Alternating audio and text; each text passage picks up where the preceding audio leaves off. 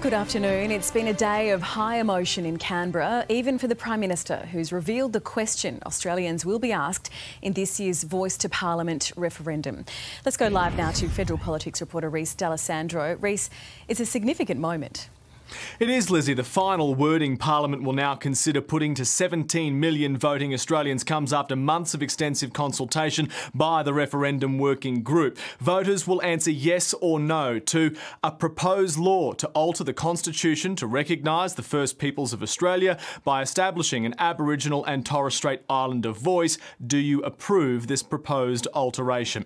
Today's announcement following final advice from the referendum working group and a snap cabinet meeting meeting this morning.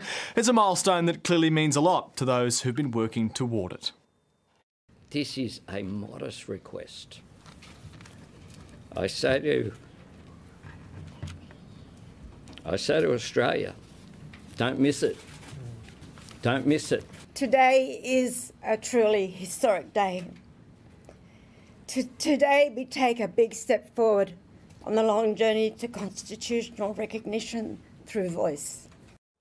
Anthony Albanese also unveiling the exact wording of the new chapter to be written into our nation's governing document should the referendum succeed. In those paragraphs, confirmation the voice will be able to provide advice not just to Parliament but to the executive or the cabinet, something the opposition and voice naysayers are concerned about.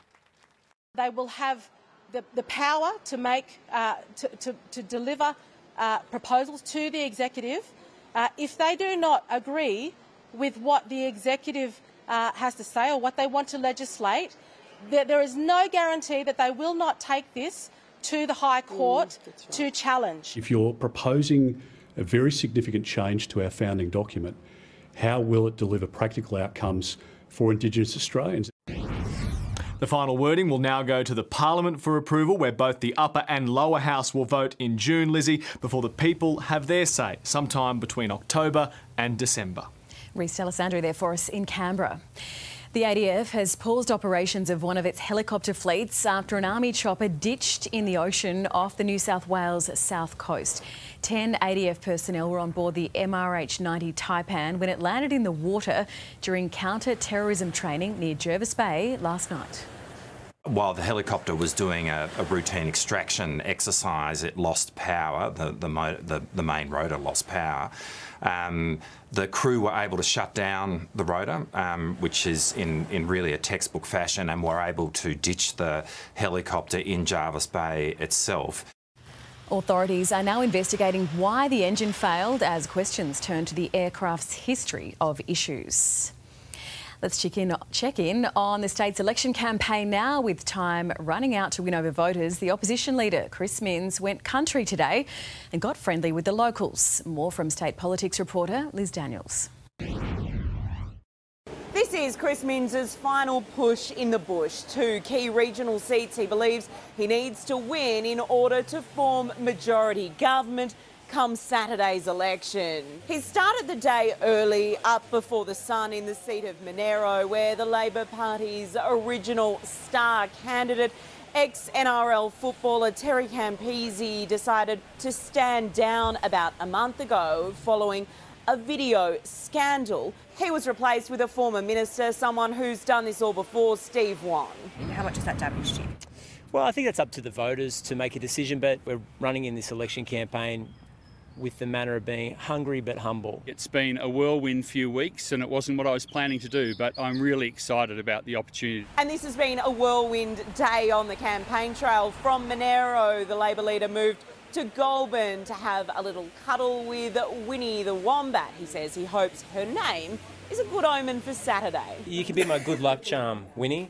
Two days to go. From here in the Southern Highlands, we are heading back to Sydney, Western Sydney in particular. Leppington will be the final stop for the Labor leader late this afternoon as he tries to scoop up as many votes as possible in the new notionally Labor seat. Meanwhile, the Premier isn't taking any seat for granted, even the supposedly safe ones of Drummoyne and Ryde. Dominic Perrottet's wife Helen also joined the campaign for moral support as her husband announced plans for his first 100 days of a fourth term government. This Saturday is a clear choice, a choice uh, to vote Liberal uh, for your local Liberal candidate to keep our state moving forward in these difficult economic times or to stall and go backwards under Labor. Mr Perrottet's petrol-powered bus carrying the media broke down today, suffering a similar fate as Labor's electric version earlier in the week, which ran low on charge. Singer Guy Sebastian is accused of withholding crucial CCTV footage amid a bitter court case against his neighbour. Maggie Raworth reports. A lawyer for Guy Sebastian's neighbour has told the court the pop star is the bad guy in a neighbourhood dispute. Lawyer Brian Ranch told the Waverley local court the pop star failed to comply with a subpoena. Lawyer Brian Ranch told the Waverley local court Sebastian has failed to comply with the requirements of a subpoena. Earlier this year, Philip Hanslow, Guy Sebastian's neighbour, was charged with intimidating the singer and damaging their shared fence during an incident outside their Maroubra homes. Sebastian was ordered to hand over CCTV of the incident between him and his neighbour. Hanslow's lawyer, Brian Ranch, previously told the court he anticipated the footage would show Mr Sebastian towering over Mr Hanslow with a brick in his hand. Today, Wrench told the court the pop star's lawyers had not fully complied with the subpoena, saying no footage of the incident was provided. The court hearing could have led to Sebastian being dragged in. Magistrate Jacqueline Milledge asked if Sebastian should attend to settle the matter. Instead, she gave the celebrity a week to produce the missing CCTV.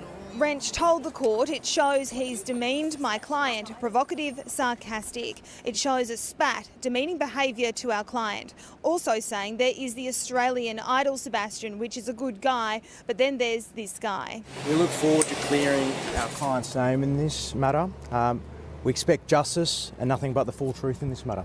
Sebastian was not in court today. He has until next Thursday to produce the vision. Well, as the dogged fight over the future of Ukraine persists between Vladimir Zelensky's forces and Russia, it's the courageous people on the ground who've endured more than a year of death, bombings and blackouts. James Elder from UNICEF is back in Australia after his latest visit to Ukraine and joins us in the studio now. James, welcome. The daily suffering there is, is so real. Tell us what you saw. The, the images and the people, you know, like dads, right? Ukraine, Ukrainian dads, burly guys who are in tears because they're farewelling a five-year-old daughter, not sure when they will see them again, and they now we know it's more than a year. I saw grandmothers pushing prams to, you know, with, with babies to try and get to the border. I've seen mums lie in, in bunkers to, across their children to try and protect them from shrapnel.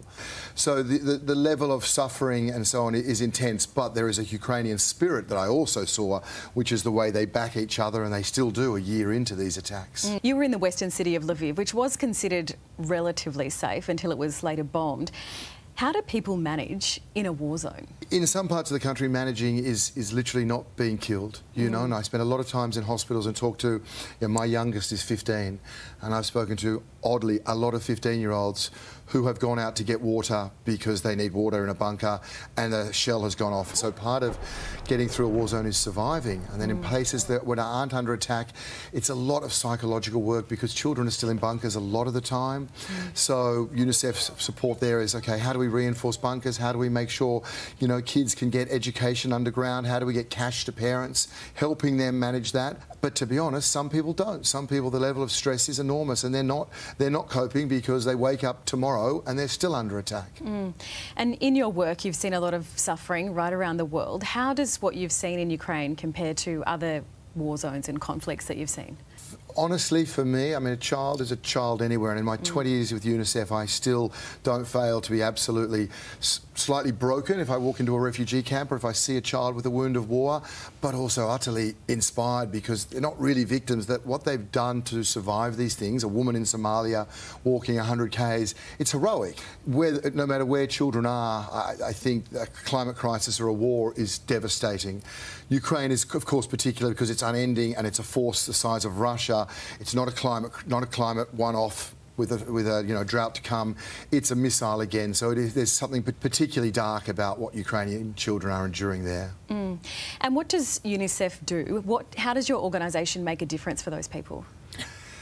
Everything from when I was in the east of the country where you were very close to the contact line or the front line, rapid response missions, we fill vans up with medical supplies and surgical kits and food and blankets and all the things children need and get them as close to the front line as you can, to training counsellors because mental health is so key, to equipping hospitals, to sitting down in the halls of power with, with a donor and with a government rather and explaining why they need to invest more in education mm. or nutrition. So UNICEF's lucky like that. We are a frontline responder, but you can pick up a phone and talk to a minister. Mm, and this conflict is now more than a year old.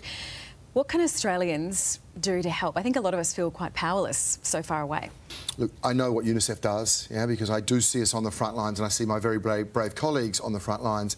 So look at, you know, unicef.org.au and get a feel for those things, but know that, for example, 85% of our colleagues, my colleagues are on the field, 85, 90% of our money goes to those people I talk about. So anything people can do, yeah, it reaches it reaches those people in need. Mm. Well, thank you so much for all of the work that you do, and thank you for, for joining us on the afternoon news. Pleasure. Lovely to chat.